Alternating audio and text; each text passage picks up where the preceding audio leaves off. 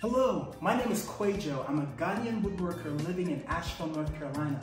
For my project, I'm going to create 10 highly collectible and marketable furniture pieces that blend Ghanaian craftsmanship in textiles like what I'm wearing right now and wood carvings with Scandinavian design. I'm going to bring a wide audience into the creation process through the creation of a documentary and short form video content that I'll post along the way while I'm creating these pieces.